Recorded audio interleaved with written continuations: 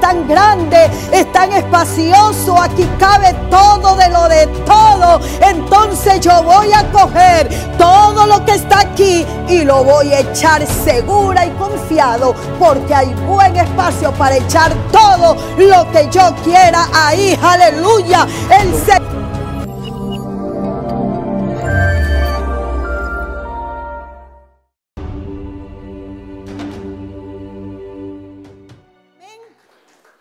Para empezar este mensaje en esta maravillosa tarde que, por cierto, si usted se da cuenta, hay un ambiente muy hermoso. Amén.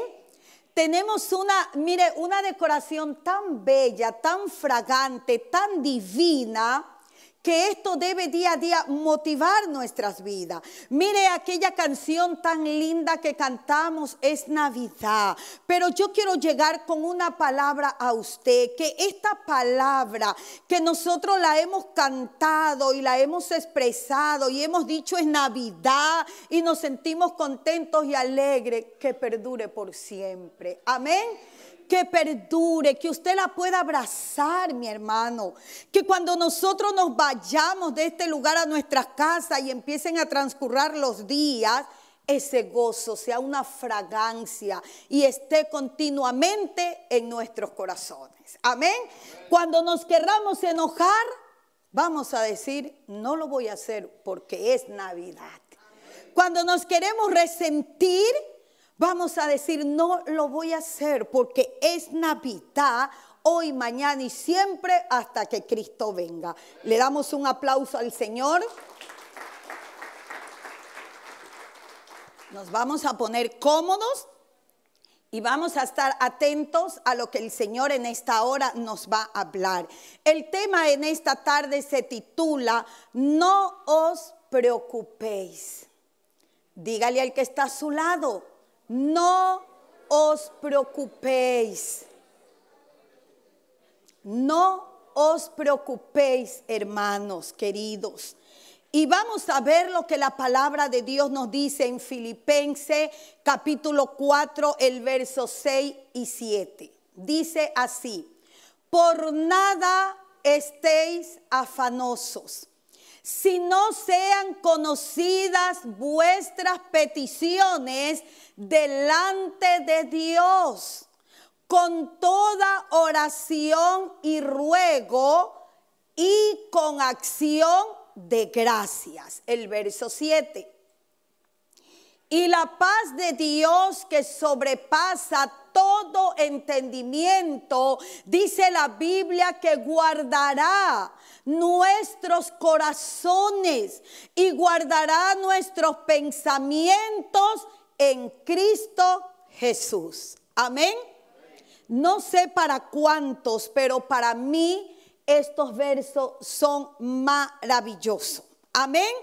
Este es uno de los temas más reconfortables y alentadores para nuestras vidas. Y yo sé que allí donde usted se encuentra sentado o a lo mejor en su casa donde nos está mirando, usted se está preguntando y usted está diciendo cómo estos versos o cómo esta palabra puede ser confortable, puede ser alentadora para mi vida cada uno de nosotros tenemos una lista inmensa ahora mismo de situaciones, de circunstancias por las cuales estamos atravesando. Y en el razonamiento nuestro, aquella lista es tan grande. Y decimos, ¿cómo no me puedo preocupar si en mi lista tengo una situación económica? ¿Cómo no me voy a preocupar si mi salud está quebrantada? ¿Cómo no me voy a preocupar si estoy atravesando una calamidad muy grande en mi matrimonio? ¿Cómo no me voy a preocupar si no puedo guiar a mi hijo? ¿Cómo no me puedo preocupar si el trabajo no marcha bien, los negocios no están bien, las finanzas no van bien?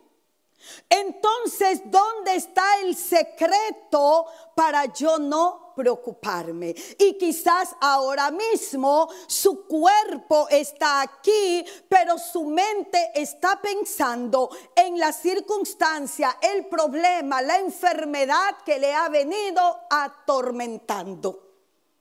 Y cuando el apóstol Pablo escribe esta carta, no la escribe porque él quiere, no la escribe porque no hay nada que hacer, no la escribe porque él quiere, lo hace porque el Señor, conociendo los tiempos, las circunstancias, las etapas, nuestros sentimientos, nuestras vidas, se antepone para ayudarnos, para socorrernos, para alentarnos, para decirnos, no os preocupéis, porque vuestras cargas, vuestras ansiedades, vuestros temores, vuestras angustias ya están en control de mis manos, ya las tengo yo aquí para darte el descanso, la paz, la solución que tú necesitas. ¿Cuántos le dan un aplauso al Señor? Y empieza diciendo, no se inquieten por nada.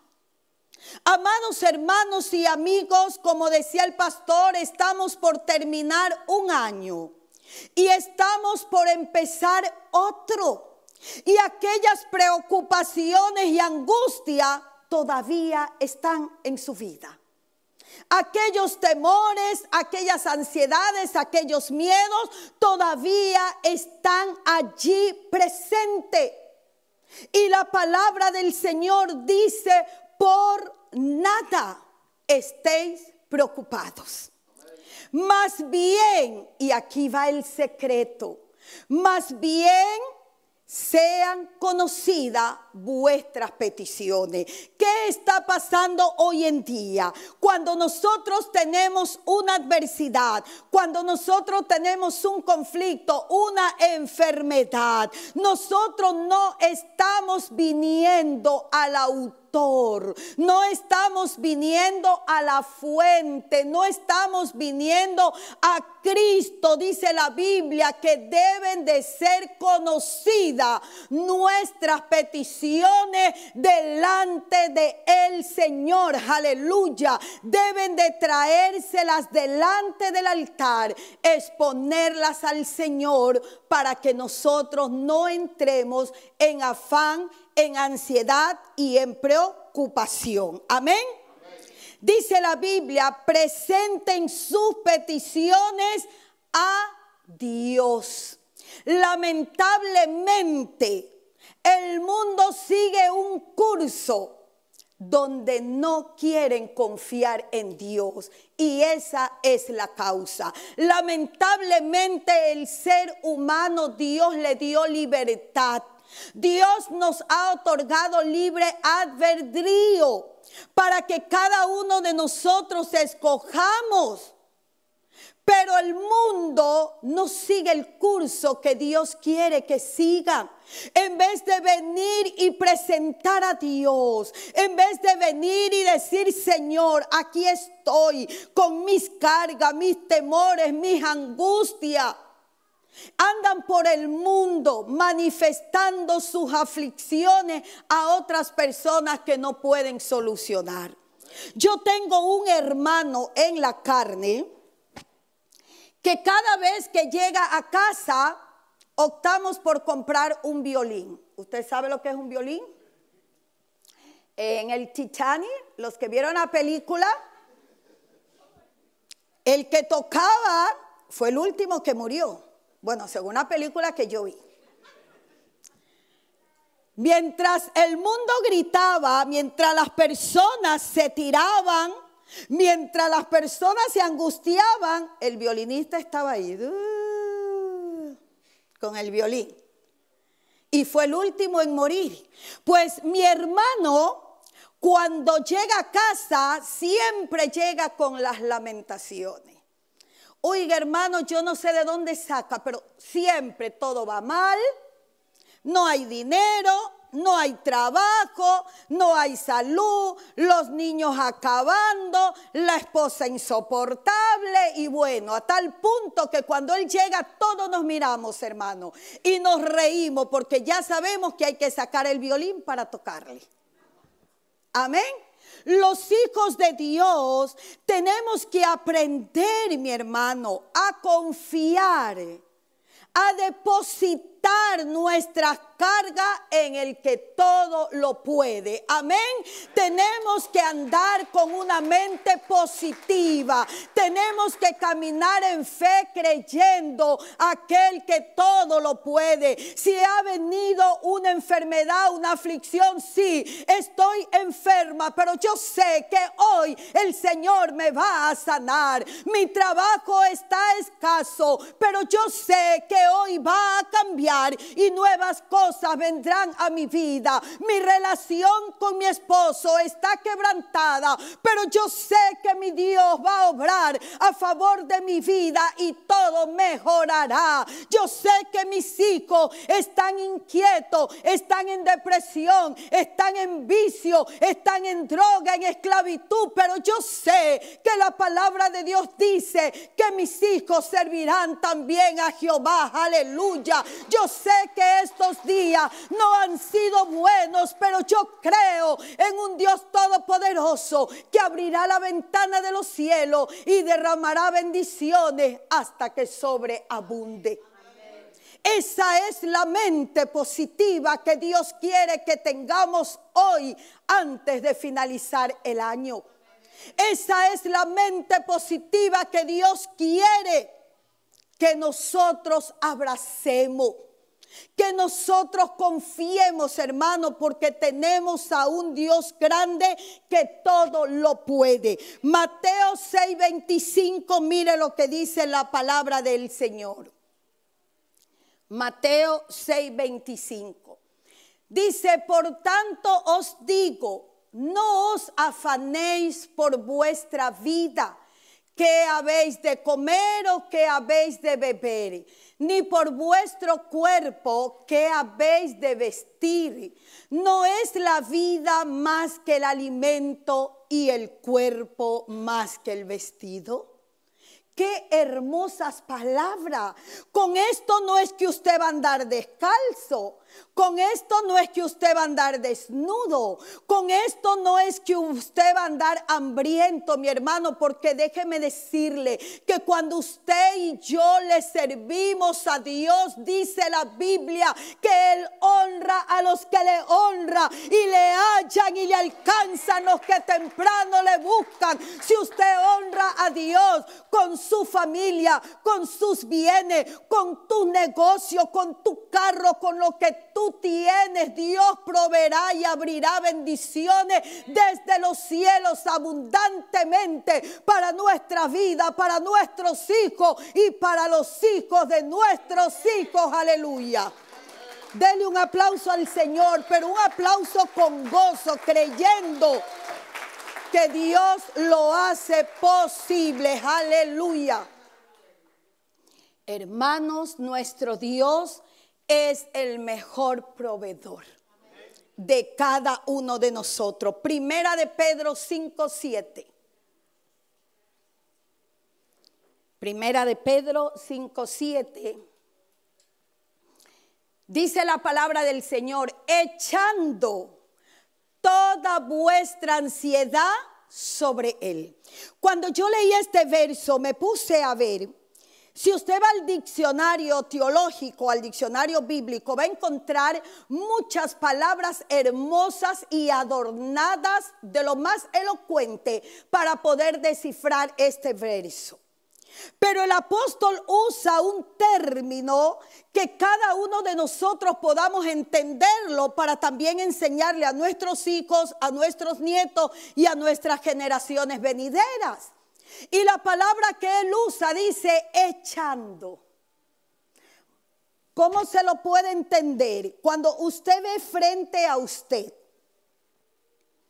una vasija grande o vemos a un container grande, ¿verdad?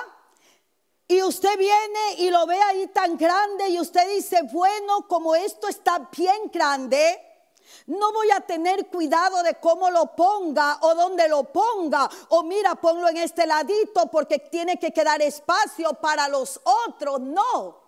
Usted viene y dice, bueno, como esto es tan grande, es tan espacioso, aquí cabe todo de lo de todo, entonces yo voy a coger todo lo que está aquí y lo voy a echar segura y confiado, porque hay buen espacio para echar todo lo que yo quiera ahí. Aleluya.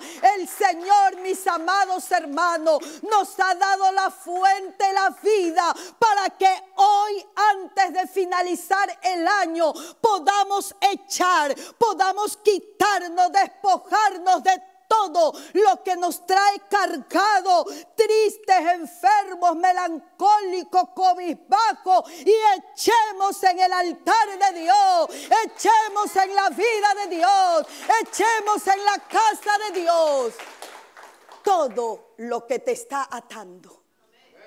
Dice la Biblia, echa.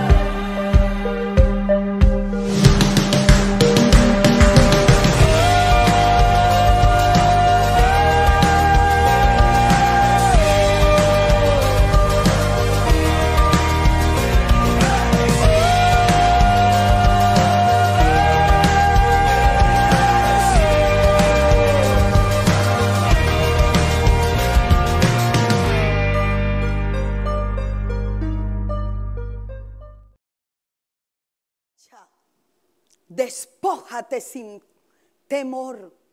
Echa sin angustia. Echa sin miedo. ¿Qué te atormenta? ¿Cuál es el afán, la preocupación? Échala en el altar de Dios. Escasez económica, situaciones sentimentales, decisiones que no podemos tomarlas así con fuerza como deberíamos. Actitudes que no estamos tomando para crecer espiritualmente con la familia, con el esposo, en el negocio, con los hijos, con nuestros hermanos, la relación familiar. ¿Qué te está preocupando? Échalo con confianza en las manos de Dios y Él hará lo mejor para tu vida, para mi vida y para cada uno de nosotros dice, echando toda vuestra ansiedad, todo, no te quedes con nada. No te quedes con nada. Échalo en las manos de Dios. ¿Por qué? Porque dice la Biblia que Él tiene cuidado de vosotros. ¿Quién en esta vida lo ha cuidado tanto como Dios? ¿Quién en esta vida te ha cobijado tanto como Dios? ¿Quién en esta vida te ha otorgado tantos beneficios como Dios? Yo creo que nadie. Amén. El amor de Dios es incomparable. El amor de Dios es sublime y no tiene límite. Por eso te da la confianza como amigo, como a hijo, y te dice, echa vuestras ansiedades porque yo tengo cuidado de ti. Démosles un aplauso al Señor. Salmos 94, 19. En la multitud de mis pensamientos, dentro de mí, tus consolaciones alegraban mi alma. En la multitud de mis pensamientos dentro de mí, aquí, tus consolaciones alegraban mi alma. No hay aflicción que Dios no pueda consolar. No hay aflicción que Dios no pueda resolver, mi hermano. No hay situación que Dios no pueda afrontar. No hay enfermedad que Dios no pueda sanar. La Biblia dice que por su chaga Él ya nos sanó. ¿Sabe cuál es el problema?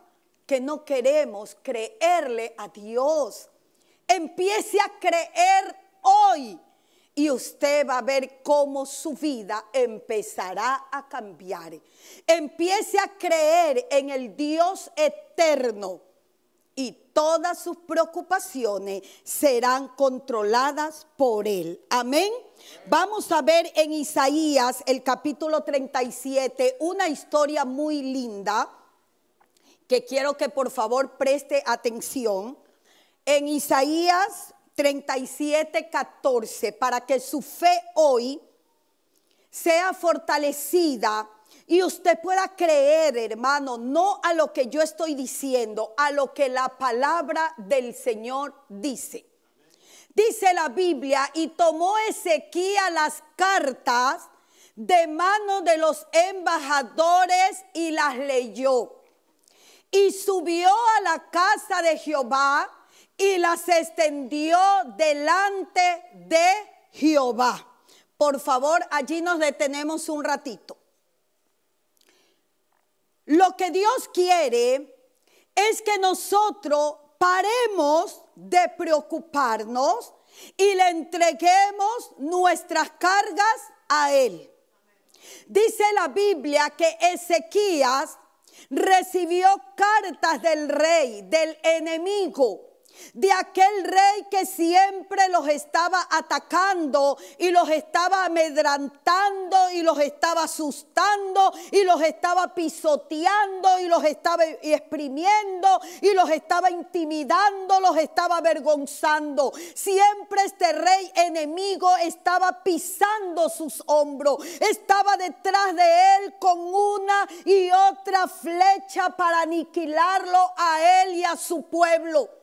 Porque esto es lo que hace el enemigo, traer flechas negativas a nuestras vidas para intimidarnos, para cobardarnos. Pero cuando nosotros estamos plantados en la roca que es Cristo, cuando estamos plantados en su palabra, amados hermanos y amigos, nada ni nadie nos hace frente, nada ni nada nos atemoriza, al contrario, nos empuja más a creer que tenemos un Dios poderoso que todo lo puede. Las pruebas nos hacen recordar que hay un Dios grande y que todo lo puedo en Cristo que me fortalece. Amén. El verso 15, por favor. Entonces Ezequiel oró a Jehová diciendo, amados hermanos, oró a Jehová Vino a Dios a entregarle su preocupación, a entregarle los temores, todo lo que el rey enemigo había mandado a decirle. Verso 16. Y le dijo Jehová de los ejércitos, tú eres el Dios de Israel que moras entre los querubines. Solo tú eres Dios de todos los reinos de la tierra y de los cielos. Verso 17. Inclina, oh Jehová, tu oído. Oye, abre, oh Jehová, tus ojos y mira y oye todas las palabras de Senaquerit que ha enviado a blasfemar al Dios viviente. El verso 18. Ciertamente, oh Jehová, los reyes de Asiria destruyeron todas las tierras y sus comarcas. 19, por favor. Y entregaron los dioses de ellos al fuego, porque no eran dioses, sino obra de manos de hombre, madera y piedra, por eso los destruyeron. Y el verso 20. Ahora pues Jehová Dios nuestro, líbranos de su mano para que todos los reinos de la tierra conozcan que solo tú eres Jehová. Amén. Este profeta se vio atemorizado por el rey porque le mandó muchas cartas amenazándolo. Y cuando él vio todas estas cartas, ¿sabe lo que hizo? Los que estuvieron atentos, él vino al altar, a la casa de Jehová, y las expuso allí. Le dijo, Señor, mira esta amenaza que me manda. Señor, mira esto otro que me mandan. Y las presentó todas delante de él. Y le dijo Jehová, tú oyes, escuchas y mira. Y tú vas a obrar a favor. Porque este pueblo y todo el mundo tiene que saber y ver que tú eres el Dios real y verdadero y todos te tienen que conocer. Aleluya y de esta manera pudieron vencer, de esta manera pudieron salir adelante. ¿Qué es lo que hoy nos está preocupando? ¿Qué es lo que hoy está trayendo ansiedad a tu vida? ¿Qué es lo que no te deja crecer? ¿Qué es lo que no te deja ser feliz? ¿Qué es lo que no te deja emprender, caminar? ¿Qué es lo que no te deja romper las ataduras que el enemigo ha puesto en tu vida? Tráelas al Señor como cartas y ponlas delante de su altar. Te han diagnosticado una enfermedad, el Señor te va a curar. Te han diagnosticado un mal, en el nombre de Jesús se deshace, aleluya,